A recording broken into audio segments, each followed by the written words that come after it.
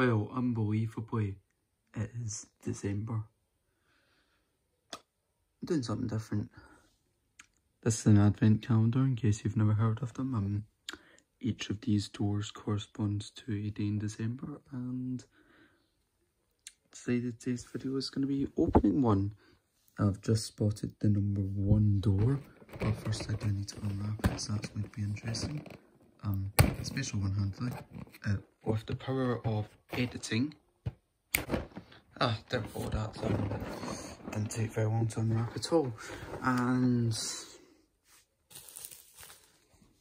now we're going to get into day one of the one teddy advent calendar. How would it be based on this? Let's just be that would punch in the pull open, and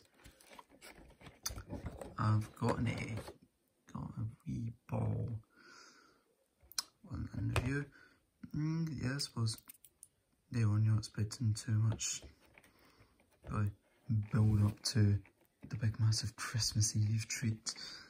It's a traditional one that doesn't have Christmas Day because that's done, but yeah, I'll um, get this chocolate unwrapped and then I can give you a taste test. So the chocolate has been unwrapped and it is taste test time and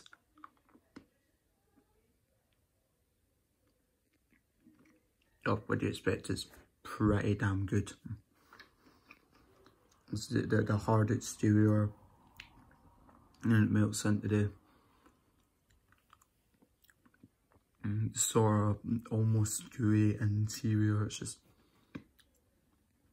tastes great. Shame it's small, but that's that's the advent calendar for you. I'm sure there'll be bigger things behind the bigger doors like day two and day ten and day twenty three.